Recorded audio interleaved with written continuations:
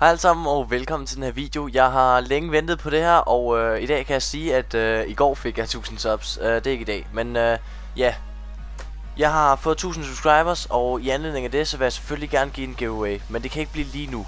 Jeg skal først finde ud af hvad jeg skal give væk Og det skal selvfølgelig nok komme. I skal ikke blive skuffet. Der kommer en giveaway.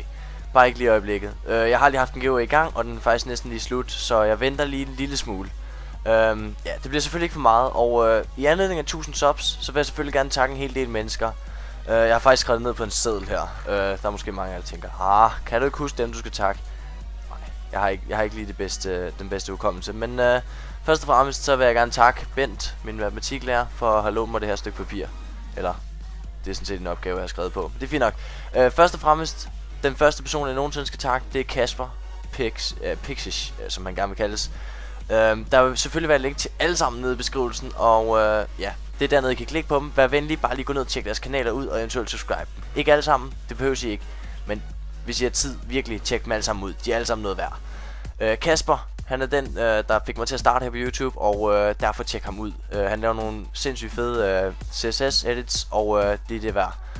Øh, subscribe ham. Gør det. Øh, så er der Martin, øh, en af mine gode venner, som også har hjulpet mig med en del ting her på YouTube. Øh, blandt andet at optage nogle af de ting, der ligger der. Øh, dog ikke så meget. Jeg tror faktisk kun det er to. Det er lige meget. Øh, Martin har en kanal, der hedder A4H 2K9. Det ligger også nede i beskrivelsen.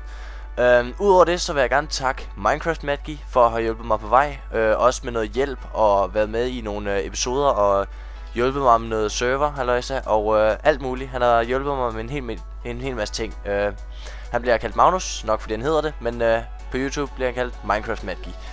Han ligger også nede i beskrivelsen. Øh, Udover det, så er der Malte Minecraft, øh, også Malte, som jeg snakker om i nogle videoer. Øh, han vil også rigtig gerne takke. Øh, han ligger nogenlunde på... Nu skal vi lige trykke her. Jeg tror, der ikke sker noget. Nej, øh, han ligger nogenlunde øh, lidt under mig. Øh, han har fulgt rimelig godt sammen med mig, og lå lidt over mig et stykke tid med subscribers. Øh, han er en sindssygt god YouTuber, og vær venlig lige at tjekke ham ud. Han laver nogle rigtig gode videoer. Øhm, ja, videre til næste. Øh, Mega Malte, jeg har lige så snakket med ham, og øh, han er også øh, helt klart subscribe værd. Han øh, laver nogle rigtig gode videoer, han er lidt ny. Øh, han har ikke særlig mange subscribers, så vær venlig at hjælpe ham ud med det. Fordi han laver nogle gode videoer i forhold til, hvor lidt der ser med. Øh, det er bare ikke i orden. Jeg sad også og kiggede lidt på en stats og sådan noget. Det, det kan vi godt hjælpe ham lidt med den her gang, kan vi ikke? Øhm, ja, Udover det, så vil jeg også gerne takke Alex og Emil for nogle rigtig gode idéer. Øh, de har hjulpet mig også, selvom de ikke så, så meget selv ved det. Øh, Udover det, så går jeg også i klasse med dem, men det har ikke så meget med den hjælp, jeg har fået at gøre. Øhm, ja. Øhm, der er også en del idéer, jeg har fået fra nogle andre YouTubere. Der er måske nogen, der tænker, ja, er det bare for at nævne dem? Nej.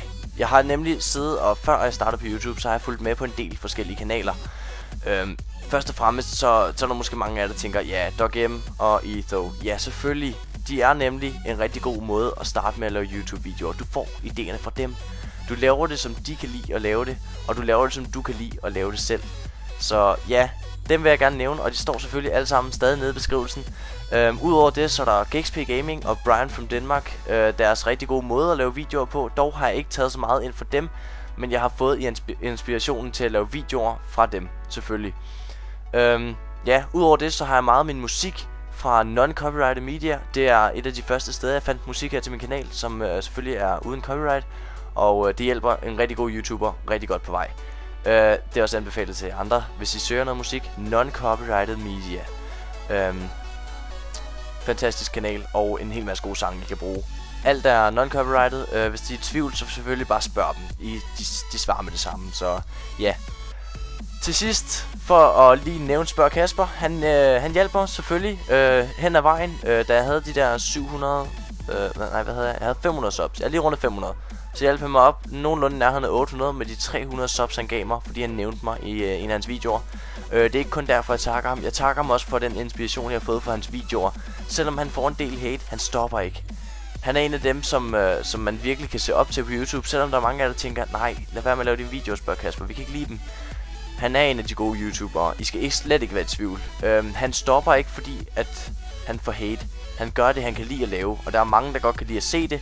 Også selvom nogen, der tror, han er fake. Lad være. Bare se hans video, hvis I kan lide dem. I skal ikke anklage ham for noget som helst. I må godt have en tanke i hovedet. Selvfølgelig må I det. Men bare husk, alle laver YouTube-videoer, fordi de kan lide det. godt. Det var sådan set øh, dem, jeg gerne ville nævne og sådan noget. Og så vil jeg selvfølgelig også gerne sige tak til jer. Tak for alt det like, I har givet mig.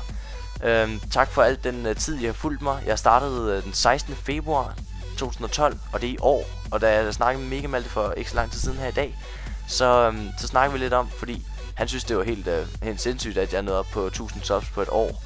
Øh, på under et år selvfølgelig. Øh, ja. Jeg synes også, det er helt fantastisk. Det er, det er godt. 1000 subs, det er mange. Mange tak til jer alle sammen, og øh, der vil snart komme en giveaway. I skal ikke blive skuffet. Øhm, ja, det, der, jeg har ikke meget andet at sige, og jeg, jeg ved godt, at jeg sidder og kigger nogle steder hen i mine videoer og sådan noget, men det er mest fordi, jeg sidder og holder øje med dem, stadig optager. Jeg prøver at bruge den her mic. Øhm, ja, jeg håber ikke, der er noget galt, for skal jeg til at optage det om. Men øh, det var i hvert fald det for den her video. Jeg håber virkelig, I ser frem til at, øh, at få en, øh, en god fremtid på min kanal som subscriber. Og øh, endelig skriv, hvis I synes, jeg kan gøre noget bedre, eller I synes, I kan hjælpe mig med et eller andet, eller der er noget, jeg skal droppe helt. Ja, jeg laver det her, fordi jeg kan lide det, og jeg elsker at lave det. Så jeg håber, I kan lide at se det. Udover det, så har jeg ikke så meget at sige. Vi ses alle sammen. Hej hej.